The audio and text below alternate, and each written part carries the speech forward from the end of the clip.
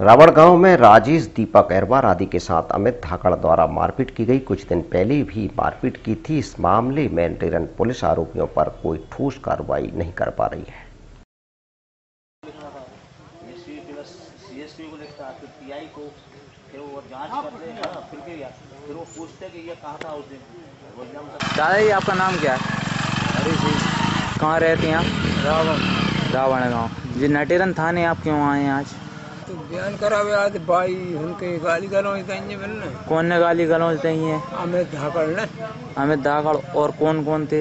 अभी जी बता भाई। बताओ पहले अपना नाम बताओ। भाई। कहाँ रहती हैं आप? रावण। किस लिए आप नटेरन थाने आई हैं? हम जी। हम्म, और जैसे यहाँ है हम आज जिन गाड़ी को प्रथम पे लड़ाई हो करी थी हमारी अच्छी कह हाँ।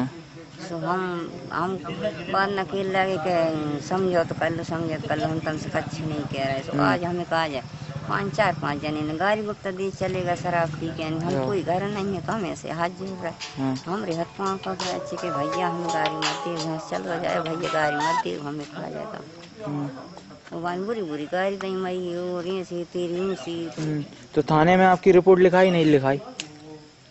अब न कह रहे हैं कह रहे हैं कि कहीं कागज़ पे लिख के दे दो। कागज़ पे लिख के दे दें। आवेदन मांग रहे हैं लिखित अब हम कौन क्या पहले भी आपकी रिपोर्ट दर्ज है इस थाने में? अब हम कौन पढ़े लिखे थोड़ी हैं भाई साहब? राजेश धाकड़ ग्राम रावण के रहने वाले हैं। हाँ। क्या मामला हुआ है? मामला हरिजन एक्ट में गवाही दी थी तो उस कारण अमित धाकड़ जितेंद्र धाकड़ दोनों हम्म, घर पे आए अंदर घुस कर मारपीट करी लूमा जूमी करी और इसके बाद नटेरन थाने रिपोर्ट लिखवाने आए। हाँ। रिपोर्ट लिखवा दी है मेडिकल का जा रहे हैं और अब इसके बाद में अभी अभी फ़ोन आया है वहाँ ने अमित धाकड़ और वहाँ के चार पाँच साथी ने पिताजी मारता है हम्म। तो यहाँ की पुलिस वालों ने मतलब जिससे अभी छोड़ा है और गाड़ी भी जब्त हाँ गाड़ी भी है यहीं पे और कौन सी गाड़ी गाड़ी का नंबर क्या टी वी एस स्पोर्ट है हम्म। वाइट कलर में। वो यहीं पे खड़ी है। हम्म। वो खड़ी है वहाँ पर वो वाली। हम्म। और उसे यहाँ छोड़ दिया है। हम रिपोर्ट लिखाने आए जब तक वो घर गया।